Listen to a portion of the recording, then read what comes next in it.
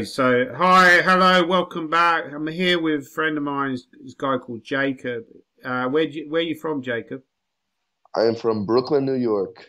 So he's Born like he's, he's like a Gormally uh, super fan. Something like that. Yeah, yeah. so Um, he's basically he's here to help my channel. He's helped me a lot with my channel. He's called, a guy called pleasure. Jacob Lovi, right? Yeah, Lovi, Lovi. Yeah. Lovi. And you're from Brooklyn. Yeah. So Mhm. you know, you know, I was talking about um, famous guy from Brooklyn earlier, famous chess player from Brooklyn. Can you guess who it was? I have no idea, honestly. Bobby Fischer. Oh, but how did I not think of that? Bobby Fischer, of course. Because I was talking about a game that I played against James Howell, who was like the English Bobby Fischer. I thought you were gonna say the game I played against Bobby Fischer. No, no, I never played Bobby Fischer. No, I never played him. I would have loved to have played Bobby Fischer. I was like idolized him when I was younger. Um, but he was like he's basically out of the chess team by the time I started playing chess. hmm So it was more like actually Kasparov and Nigel Short that I looked up to. Who did you did you uh, admire any chess players when you were younger, Jacob? Nah, I just got into chess recently, so um, Right, right. You, so you didn't Well- look up to any? Did you look up to anyone at all? oh, there's this grandmaster from England. Oh, Um, that guy, yeah. Yeah, yeah. Right. Um, So what would you, what are we going to do today? We're going to like I think we're going to you're going to share some uh, study material and we're going to go through and talk about your your thoughts and where I'm I'm going to, I'm going to try and do some input myself. on what I'm studying like right now, Yeah. As in games or just well, like uh, annotations. You're gonna. You said you had some annotations. We're No, gonna. no, look- no. I, I didn't get to get any annotations because I was gonna play a tournament yesterday and annotate like the games, but I wasn't able to make it to the tournament. right, right. So should I should I maybe do some uh, test you on some positions? Yeah, sure. that Um, might be that might be a good idea. I'll test you on some positions, and we'll go through your thought process. Why your thought process might be wrong. mhm. Okay, so the first actually I'm going to test you on a position that I was just looking at myself, and uh, so I'll do share screen. Okay, I'm sharing now. So Jacob, can you see this? Can you see my screen? Yeah. Can I think it'd be better. Could you send it to me on Skype because I, I have you on my phone on Skype and then Right. like I'll open up on my laptop. So how do I how do I send it? How, what you mean? I send the game? Here, got- I think it'll be better. Yeah, yeah. Just send me the link to that that Oh, study right. or whatever, Okay. Right. Okay. Okay. Let me get the key position. or the FEN, whatever it's called. You know what I mean? Yeah. Yeah. Uh, let me get the position. Right. Uh, do, do, do, do, do, uh, oh. Oh, fuck. Sorry, pardon my French. Yeah, I'm not sure how this is going to work though. If I if you can't see my screen, this could be a bit, Here, bit here. I'll I'll just connect on my laptop. It'll be better. Give me one second. All right. I'll disconnect and I'll reconnect. Okay.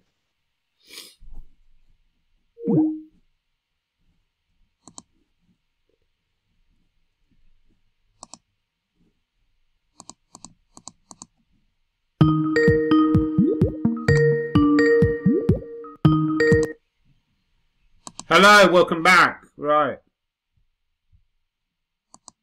Are you are you there? Hello? Oh. Hello? It doesn't seem to be there. Yeah. Bit of an issue, going, ongoing issue here.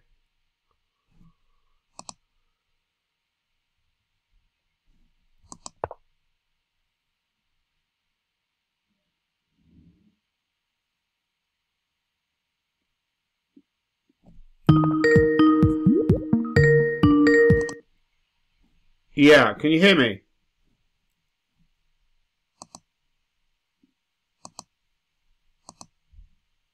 Hello?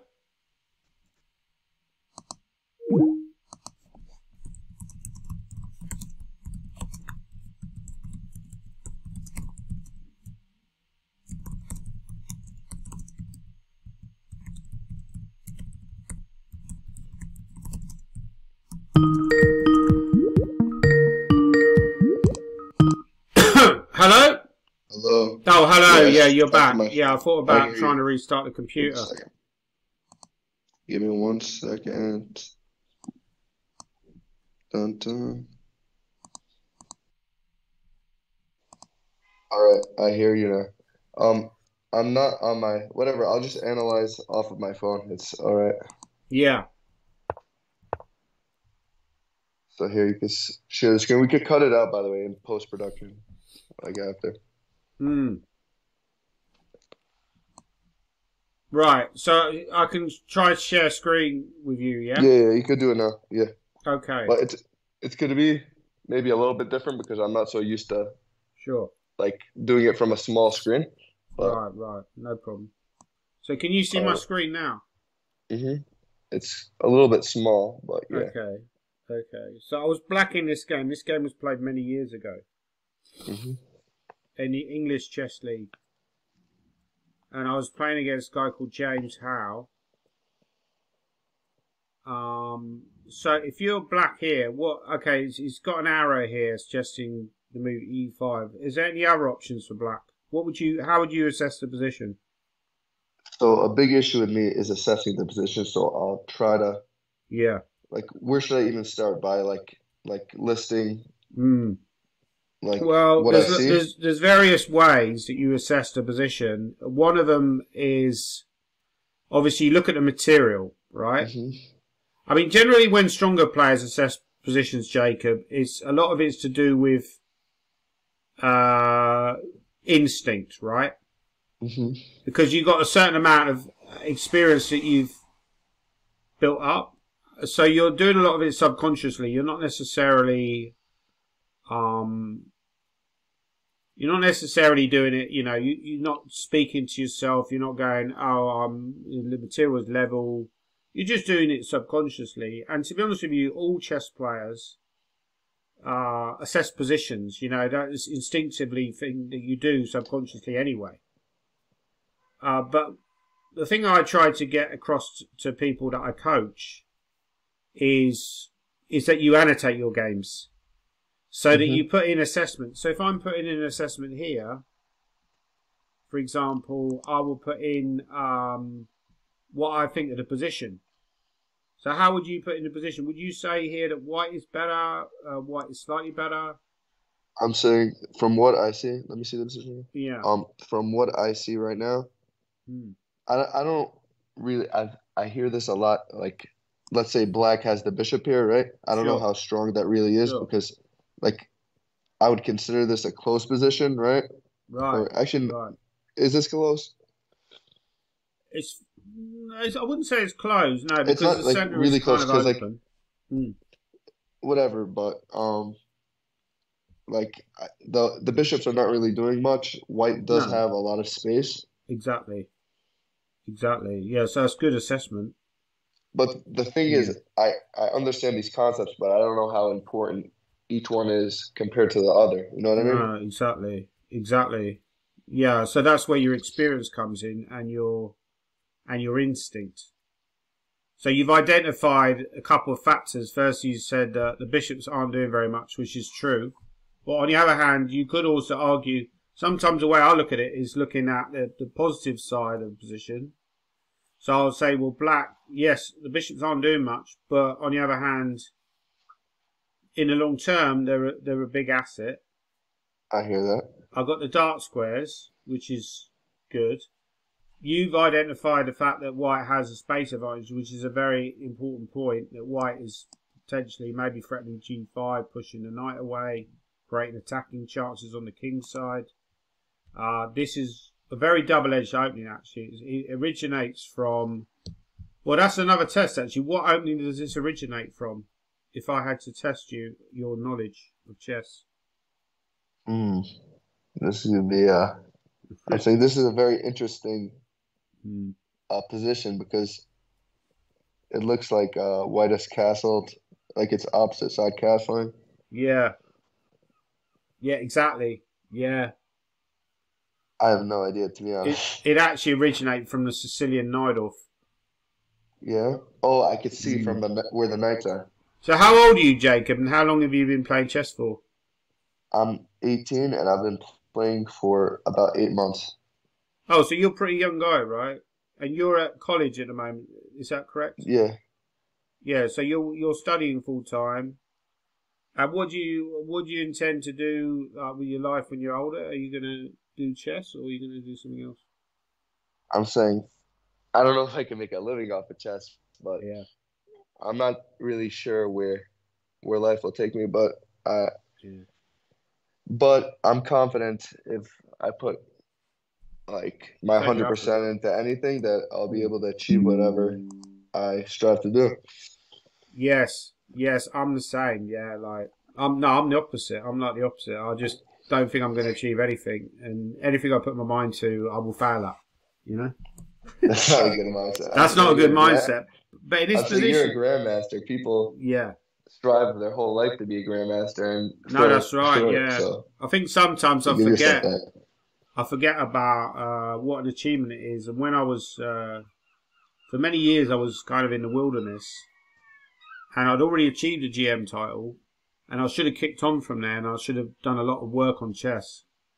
But I was sort of like going through the motions. It's it's funny how life works like that, and now I regret that because I'm older, and I regret all those years. But obviously, I've still got the opportunity to do that now. I've still got the opportunity. To, you know, a lot of chess players, Jacob. To be honest with you, they um, they don't actually work. You know, a lot of professional players they don't actually work that hard on chess. You'd assume they were doing they'd be doing five six hours a day minimum Mhm. because you've got X amount of hours in the day that you can do that for. But mo most of the people, most of my friends, don't do anything like that, and that's probably why we're kind of stuck at the 24, 2500 level. The guys that do five or six That'd hours, be a good issue to have for me, honestly. yeah, to be stuck at 24, 20, 2500. it would be a good issue. But I think I think actually, if you were a GM, you would probably be one of those people who would be working. And what I get from speaking to you, you're probably one of those people who would be working hard on chess full time, and if you were doing chess rather than If, if I could, I would, man. yeah, Oh my yeah, gosh. yeah. But chess Um, is the kind of game that rewards like hard work. If you put in a lot of work, you'll get better at it. You know, like there's no there's no doubt about that in my mind. Like if if you put the work in, you'll get better. It's just a question of how much time you're willing to invest.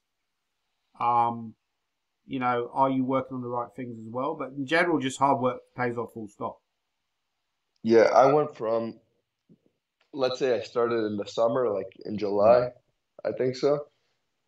Um, I went from my my first elo, like after playing a bunch of games on chess.com, was 270, which is atrocious.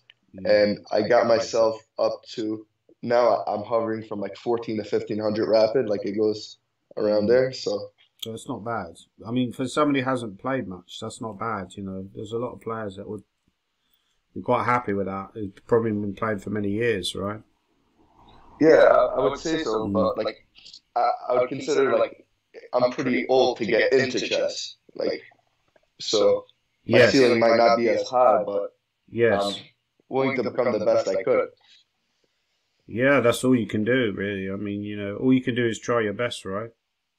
Yeah, so I had this thing, I was thinking like, oh, why didn't I get into chess when I was younger? I was angry at myself, right? But I'm like, Yeah. who knows? Maybe I wouldn't have liked chess when I was younger, and also like, But you learned maybe earlier, right? But you only started playing properly. yeah, I, Mm. I was 270 elo. That that's how good I was. I knew how the pieces moved, but Yeah. I, we could look through our games, my old games at a different time, but they're hilarious. Yeah, yeah, but yeah, I mean, the main thing is you're enthusiastic. If you want to learn, you want to get better. I mean, that's really like fifty percent of the battle, I think. Um, but this position, what candidate moves does Black have?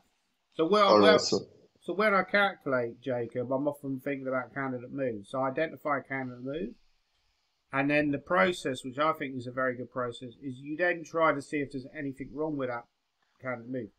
Does it lose tactically? Is it bad? If it's not bad, then obviously that would then come to the forefront of the moves that you would choose.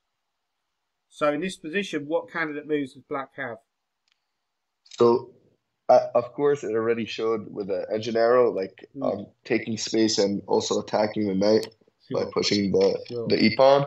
Mm. Looks good. Um, at, at first, like my first instinct was to like sort of think counter the bishop, but I realized that just loses a pawn. Right, Um, right. Yes, exactly. Yeah, so if you go here, they're, they're going to take here. Right, exactly. yeah. Which is not good. Um, there is So that that's what I would call. Castle- Sorry, sorry to interrupt. Sorry what? to interrupt. That's what I would call falsify the variation. So you've gone bishop b7. So that's what I was talking about when you're trying to see what's wrong with a move as well, and that that is a good calculation method that you're trying to use calculation to as a process elimination. So you go Mhm. right. That move I don't play. It says process elimination because you've seen that this this move is is good for white. So you saw you've seen that e5 is a move. You've you've seen that bishop b7. Anything else? um castling looks okay. Um, Castling's a good move. Yeah. and then I'm trying to think. Anything else? So we got I'm saying attacking the knight. I don't. Maybe that does something. I'm not sure. the only problem is that if No, no. I'm saying with the with the queen, with the queen, Oh, with the I don't queen, think it does anything. it doesn't really attack it. Any other moves? What about to activate that rook on b8? Hmm. Interesting. I'm not sure where I would activate it. Oh, oh no. I wouldn't know where to activate it. Maybe by pushing the which pawn is that? The the B pawn? Yeah. That's another move I would say. It's, it's funny actually because when you played an opening a lot, there's certain ideas that you know almost automatically. Like you, you, it took you a while to see that that was an idea to push the pawn. Yeah. Because I've played Najdorf for many years, I know that b4 in these kind of positions is just a very standard plan for black. You don't even have to think about it. It's almost like an automatic move. So you open up the b file, which is obviously useful. You've activated the rook. Now it's interesting. After here, what is the best move? This is a good test. So you're The threatening best the knight. You're threatening the knight. Um. So what is the best move for black? What would you play here? This is a good test. What would I play? Probably like D2 to, and then like Knight sure. e7, you mean? E7. Yeah. But are you not worried about this pawn? Oh, I am. Um, am I? I'm thinking of like counterattacking with the knight, but it's pro oh, uh, I'm not worried about that because I attack with the knight and I take back. And if you take, And ooh, that's not good. not good, yeah. Not good. Yeah, that's not good. There is an amazing So- move here. I don't know if you can see it. There's an amazing idea here. Which the computer points out, which which I think I already showed in another video that I recorded earlier. And let me think. Black, uh, black to play, but I didn't see this during the game. I was already quite a decent player. If I'd have seen this, it might have made for a very interesting battle. Uh, what's the move? The move is just a castle, What? which looks insane, right? Because you lose a piece for nothing. But then the problem is when you take, you're hitting a knight, right? So you're immediately threatening to regain your piece. Your king is now very safe, which is very important.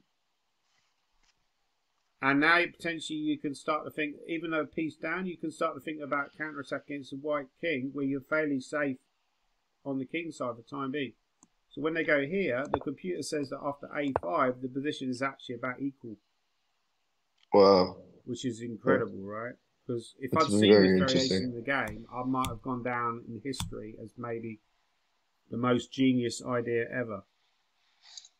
Uh, but this is the time. I mean, that's actually the computer variation. This is one of the reasons, Jacob, why you know, working with computers can be inspiring because they can come up with ideas that we often find difficult to come by. You know, it's very difficult to just imagine just castling there and just giving up the piece for nothing. Uh, going back to his position, um, well, I'll actually show you what happened in the game. I, I went h6 and uh, yeah, it, it, all started going wrong because he went g5, hitting my knight, and um, he came up with a very clever idea here. He actually went knight g3. Apparently, I was supposed to go queen b6. I went queen c5. Can you predict his next move? White to play. I could flip the board as well. What would you play here as white? How would you how would you attack? Hmm. I think he came up with quite a good idea. Oh no, hang on. He played king b1 first. Sorry. Now I went here, so it's white to play here. So obviously he's played that because he doesn't want to lose the knight. So he's worried about me going check and then taking the knight. So he's gone king b1. I went here. So now white to play. What would you play here? White to play. Hmm.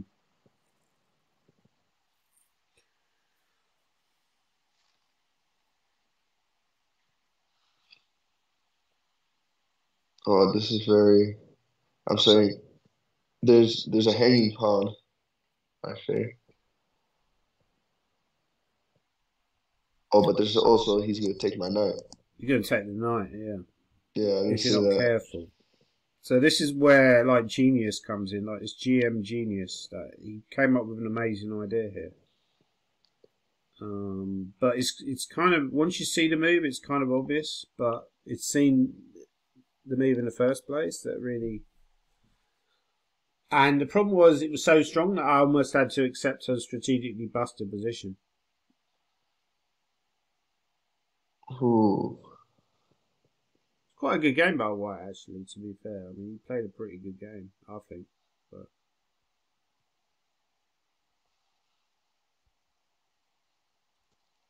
Oh. I would think it was a knight move at first, the, the knight that's protecting the king, but like yeah. the bishop could just take, but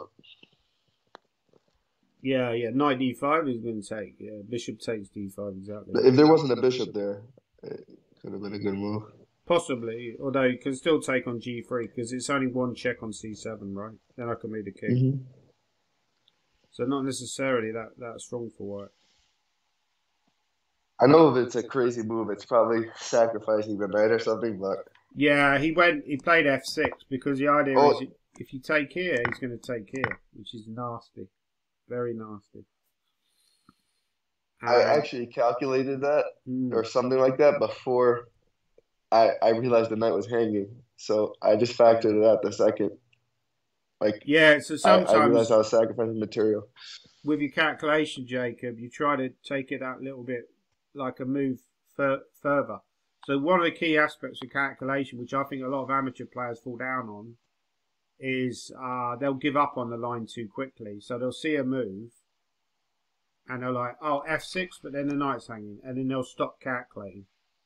They'll give up too quickly, right? So I think with calculation, you've got to train yourself to go that little bit further and and just you know get used to like, like you know not giving up on lines too quickly. So a lot of it's just about training your calculation, really getting good at chess. You know, that's the mm. meat, that's the like the uh, meat and drink of chess playing, right? Chess tournament play is just calculation. Uh, but f6 is a very nasty move, Jacob, because the point is if I take, I understood he's going to go knight f5. So flip the board, attack the queen. But when the queen moves, the knight comes in, he's got a nasty attack just kind of, you know, I might be a pawn up, but it's just a very nasty position. Um, he can go like check, and it's just horrible. Oh, So I realised I'm busted. So I decided I'm going to, right, stop the knight coming to f5. The problem was, very clearly, that the problem was, what's the issue here for black? The biggest issue? For black? Mm. Um, Da, da, da. one issue I see at first is that the queen is like just harassing the position. The queen on And H8. and yeah, yeah, yeah, and exactly. it's also pinning a piece, so that's not good. Mm. Um, another issue. It's quite. Oh, it just it just it's yeah. it's not that safe in the center. No, no. So there's there's quite a few issues. Like for example, yeah, you identify the queen is very active. My my my king is in the center, so it's not safe. Um, the center's quite open. He's got the d file. He's attacking down a d file. So a number of issues here that are good for white. And one of one of the issues, which is really important, that bishop is effectively out of the game. It's a I'm effectively a piece down. Unless I can play the move d5 and free it, I can never move the bishop. So I'm effectively playing. Sorry, yeah. I don't know if I vocalized it, but that's what I meant. Like by the piece Mm. being pinned, it's like pretty much not there. Yeah, I'm not in the game. So I went, uh, he went here and, and eventually played a very clever move. So now the bishop is basically entombed forever. It's like, it's like the unknown soldier. It's in his tomb. Wait, go back to the moves, like the the moves before. Oh, that's oh, that's very interesting. So you you took it and he just like shut it out forever. Yeah, knight e5 is a very classy move because he's basically um, he's playing against his bishop, so he's just trying to he's just trying to win strategically. So he's not trying to do anything clever. He's not trying to like win with brilliant tactics. He's just trying to win strategically. He was a more experienced player than me at the time, and a much more experienced player, and he, effectively he could win just on class alone because he was a much stronger player. Um, and really, I, I think I got the opening wrong. And yeah, basically after that, he just basically outclassed me. But um, and I, and I lost the game. And, and here at the end, he's yeah, I think I actually resigned here because I suddenly realised he's going to go here and take here, and then just win the queen and the queen stuff. So I really got outplayed, really, because I didn't find a solution to the opening. Um, it's a tough school when you play GM level because I effectively made one mistake, which was to go H6. And after that, White was clearly better, and he just outplayed me from that point on, and effectively made it very difficult for me to ever gain any counterplay. So it is it's a tough school. Let me see if there's any other puzzles I can show you. Uh, or uh, maybe we could just do puzzles full stop. Let's do let's do a. Should we do a puzzle? All right, that sounds good. Let's do a puzzle. Actually, what I'll do is I'll log out and then we'll do. Should we do a normal puzzle together rather than because I've got. I some of my puzzles are very tough, so I'm going to log out. Yeah. We'll just do a normal puzzle. Right. So this puzzle is black to move. Find the best move for black. Because I know you're not, you're an inexperienced player, so it's not Yeah. like, it's not a good idea to give you really tough puzzles. So I'm thinking queen, uh, b5, and then Yeah. if you go, I think it's like checkmate in two or three or something like that. Yeah, yeah, well So- calculated. So, So yeah. so So you've queen gone uh, queen b5. b5. No, no, don't move him. And then and then you just check him and check him again, and then it's submit. Yeah. So when when you use calculation, guys, right? When you're watching at home, um, same thing for Jacob. Look for checks and captures. So the first thing that Jacob was thinking was a check, like a, because the reason you look for checks and captures is they're forcing moves. Uh, if you if you give a check, they have to respond to the check. If you play like a waiting move, they they've got more choice. They can do wh- whatever they like. But if, if you play a forcing move, like a forcing move, so that's why they say to you, look at your checks and captures first, because then you you know if the if the checks and captures don't work, you can then move on to the other less forcing variations. But it's a good way to train your calculation. And uh, yeah, so Queen B5, uh, King C1, and then we're going to go check, right? Yeah, but I don't think I really struggle with my calculation. I think I, I, I really struggle on like strategy when it comes to strategy and like positional understanding. I like Right, let's see if I I can find a study that I've got. Hang on, I'll have to sign in. Sign back in again. Uh, maybe I can sign in with this. Let's see if I can find uh, my studies. Uh, where's a good study that I can find? Uh, actually, this one's a decent one because this is more strategical. Right. Um, so again, it's got these silly arrows. So white to play. How would you? So this is this is kind of like a typical middle game. You were saying this is a game I played the other week actually. Played this game about eight days ago. It was in the British Rapid Play Championships. We played against Shreyas Royal. I was black. Shreyas Royal is, you know, potentially a future British number one. I would say uh, in chess. He's a very strong junior player and he was right up there for the whole tournament. And I was black. Uh, how would you? This is uh, this I would say is a typical strategical position. so move for white. Yeah, move for white. What would you play?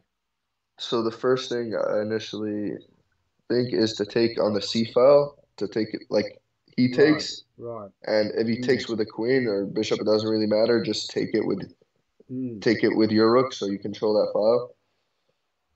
Um, yeah. Right. Another thing I'm thinking is like, oh no, another thing I thought was like shutting out the dark square bishop by pushing the Mm. which pawn the the, the C pawn, but like you just give like a The lot of e pawn. You activity. mean the e pawn? Yeah, the E pawn, Mm. but it, it shuts out. It it does shut it out, but it also like makes it really active. The the light square bishop. Yeah, that that is a typical idea. But as you've identified, the bishop on b7, Yeah, and then and then the mm, yeah. It, it suddenly actually, becomes active. Is it, it can be placed on d5 as a very good square, where it's putting pressure on the queen side. Oh, I didn't see that. I just I was just thinking of Yeah. later down the line where he swings his queen, or yeah, he doubles. Maybe like queen creates a d5 is an option for black. Although that would run into knight f4 here. That is an idea, but you, you you've identified that there's a drawback to it. So that's already good strategical thinking. That you're thinking about. I mean, often the way uh, you think positionally or strategically is you got identified plans, right? Yeah, that that's where I Mm. usually fall short for my rating. But I think my my calculation is good for my rating. That's good. That's good. So you got a good starting point. I think calculation is very important. Uh, how can you get better strategically? I mean, one advice would just be to play through a thousand games of Karpov or a thousand games of Mikhail Botvinnik, who are good strategical players. But you could also buy Dvoretsky books. Um, they're quite good. Like they give good advice about strategical thinking. I did buy a book. I actually have it on me. The Amateur's Mind by Jeremy Silman, but I, Oh, I right. think it's more of just positional understanding, which I think is different than strategy, right? Slightly different, yeah, yeah, yeah. But it's they're, they're kind of interlinked, right? I mean, um, I mean, st- st- strategy, I guess, would be like plans, right? But there's also positional play, natural positional play. Like, you, like what's a good natural positional move here for white? So you've you've talked about trading rooks, Yeah, and then taking control of the far. yeah. I mean, another thing I think white could consider is um, playing the move f3. So you know, one way you Hmm. could you can actually work on your strategy, I think, or your strategical positional play, is to build up your understanding of ideas. And Yeah, I don't understand that idea.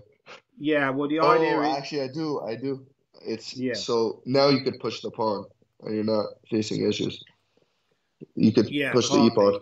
Partly, but it's also partly um, based on Lasker's advice, which was to overprotect overprotection. So you're overprotecting the pawn on e4. You're also giving a square for the king, so the king doesn't have any back rank issues. um, and the other thing is, which I, I learned recently, was that I was reading this book by a trainer of Kasparov, and I think that's one way you can build up your positional strategical understanding is to read a lot of chess books. and see some of the advice that they give in these kind of books, you know, like Russian kind of advice and all that kind of stuff. And one thing he said, which st- stuck in my mind, was which I'd never seen before, even though I've been playing chess for X amount of years. And he said, the old Russian advice is when all your pieces stand well, you make a poor move. And I thought, well, hang on, I never thought about that before.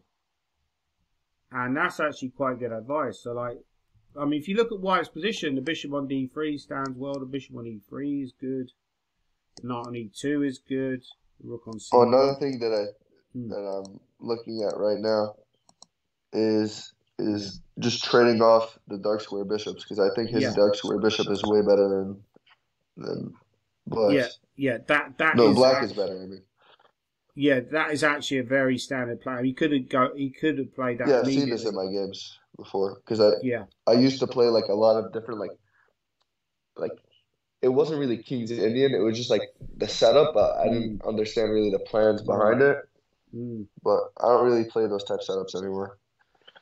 yeah. So bishop h6 is um is a good move actually, Jacob, because as you've identified, the bishop on g7 is quite a good piece. Uh, bishop on e3 at the moment is only really a- defending the d4 pawn. So you go there, and actually once you exchange off the dark square bishops, that greatly increases the chances that white will attack on the king side. Um, even though a lot of pieces have been exchanged already, there's still a danger that black will get checkmated on the king side. So the move he played was kind of similar to that, is he went h4. So it's kind of combining two ideas. So one idea was to go f3, which is like all your pieces stand well, so you make a pawn move. Uh, the other Wait, so what what what is that move? well, the Yeah. idea is he, he wants to attack on the king side. He wants to play h5, and then either play. Uh, so let's say, let's just say I do nothing. He'll go h5, and then he'll either take there, which will weaken my king side defences, or he'll play the move h6. And again, very important strategical idea that when you move the bishop, you go e5 um, and then when you uh, drop the bishop back to h8, your bishop's now entombed. You know, a little bit like that, J- that game we were just looking at where the bishop stuck on f8. Uh huh. The bishop is now on h. So you see how he's played with strategic. He's played with. Yeah, that's super interesting. But why Yeah. was the pawn not hanging when he he? Well, that Push. that was something I think he was. Is there a tactic? Yeah, I think he'd seen a similar idea before.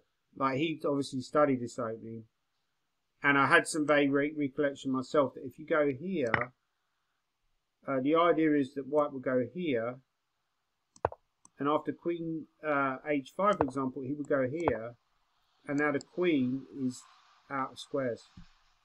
Oh wow. Really clever idea, right? Yeah. Although thinking about it now, maybe I can get away with this. Because how can he win the queen? But it's just in general, it's just risky to ta- It just felt risky to take that pawn. It just felt like, uh, you know, sometimes you have to believe your opponents. So, I think I understood, Jacob, what his plan was. His plan is to go h5. So I would say to you, my advice to you, if you want to get better at understanding plans, ideas, you just need to study a lot of chess. If you study games and also books, buy books on strategy, uh, how they explain the plans, the ideas involved, um, that that could probably improve your strategical and positional s- strength, right? Mm-hmm. I mean, funny enough, I lost a game to Stanley Batis- Batisconi, and this turned into a tactical mess. But one of the things I noticed about him is I think his tactics are probably better than his strategy. Um, so again, you know, even a good players, strategy, you know, you can often the same thing with me. Like probably my tactics are better than my positional play, my my strategy. Um, so you can always improve different aspects of your game. Some players, their positional strength will be, you know, I, I, used to coach a kid called Murugan like years ago. Is he. Swedish? Nah, nah, he's uh, like his family's from Sri Lanka, but he lived in England, and he was a very good junior. He beat me when I was already an international master. He beat me in the Richmond Rapid play. He was ten years of age, Whoa. which is crazy. But one of the things I noticed with him is that tactically he had like a bit of a flaw. Like he would overlook basic tactics sometimes, and I felt like that flaw could hold him back. But eventually he quit chess anyway. He didn't really. I think he lost interest in the game. It wasn't really he quit because he had weaknesses. He just quit because What was his rating? uh, he was a pretty decent player. I mean, he was obviously a good player, right? I mean, I'm not sure how good he was when he quit, but he was probably about 2200 strength. Oh my gosh. you know, but he was a decent player, and he would have been. He probably would have been a GM if he'd carried on playing, right? Um, but he decided that he, he wasn't that interested in chess. He didn't want to carry on playing chess. Um, so he eventually quit. But I, I felt like if he had a flaw, that it was probably tactically. And some players will be very good strategically and positionally, but they'll be weak tactically. It's like in golf. If you've got like some golfers are amazing off off the tee, they're great at driving the ball. Uh, you know, they're great like tee to green, but when they get on the green, they're terrible. And then other players like the opposite. They're very good short game, they're very good at putting, but like they're very bad like tee to green. Like Jordan Spieth would be a good example. He's not great off the tee, but when he gets on the putting surface, he's amazing. Yeah, so I was talking to one of Hmm. my friends that studies here. His name is Semyon. He's a grandmaster as well. Yeah, yeah, And he was telling me at a certain level, yeah. you should just double down on your strengths. And he didn't say like neglect your weaknesses. Let's say for for him it's like endgames, right?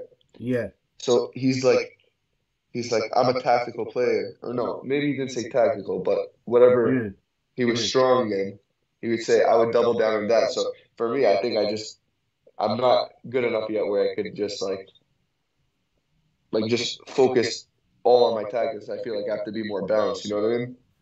No, no, but that's interesting advice. What you're saying. So it's basically using like I think it's called a big claw. Uh, somebody came up with a name with it's like the big claw. So you like you've got a crab, you've got a giant claw, and that is strong enough to guard you against everything. So if you're so good tactically, you don't need to worry about positional play because basically your your strengths are going to hide your weaknesses. So that's interesting what he's saying. But yeah, I think yeah, I think you. Yeah, and I think you've identified actually that maybe that wouldn't work for you because you're not good enough tactically as he is. Yeah, not not even close. Not even close, but yeah, but but you're good. That is a strength of your game, but you need to. Yeah, I think I think that's it. You need to become rounded. I mean, one of the things I noticed actually going a few years back, I wrote this book called Pandemic Shark, and uh, I worked a lot on my no, sorry, the, the, the book I just released actually is called Battle Manual. And during the course of it, I worked a lot on my end games, and I actually I, I didn't know how to make with knight and bishop versus king, which is weird when you're GM for years. You never, I've never a lot of technical endings that a lot of GMs would take for granted.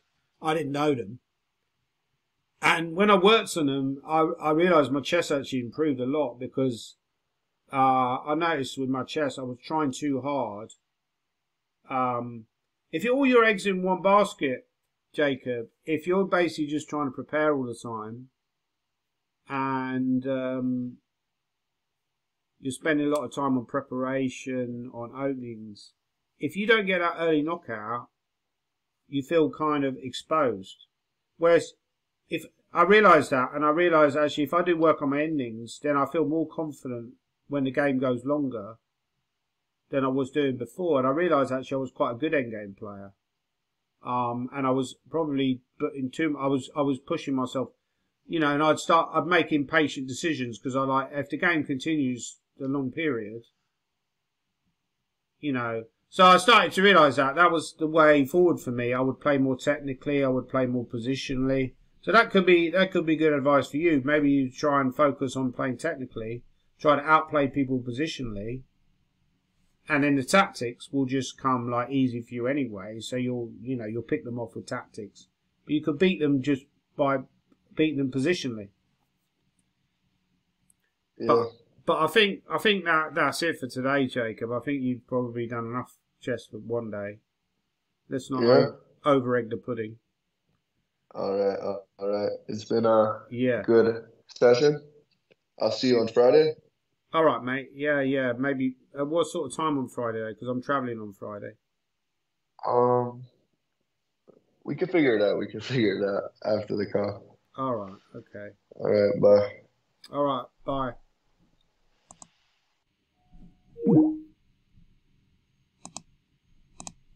Okay, so that's the end of the video. Well, thanks to Jacob for appearing on uh, on there with me, and I'll probably release that later today. And then, uh, if anyone else is interested in any coaching or any help or guidance, please get in contact with me. I'll list my um, email address below. Just before you get in contact with me, though, I will warn you that I charge fifty pound an hour. It's not cheap, but GMs don't get. We don't get a set salary. Uh, we don't work. You know, I don't work for forty hours a week, so I'm not making big money from chess. You know, I might get two or three hours of coaching a week if I'm lucky. So it's not. It sounds like a lot, but I'm not getting paid you know, if I was working in a job, normal job, I'd be working seven, uh, maybe five days a week. Uh, let's say I was doing eight hours a day at say 12, 15 pound an hour. I'll be making more than what I'm making at the moment, where I'm maybe only doing two or three hours of chess coaching per week. But I do think that chess coaching is beneficial, can help your chess. Even if we only do two or three hours, I can probably guide you in the right direction. So please get in contact with me if you're interested in any chess coaching. Thank you.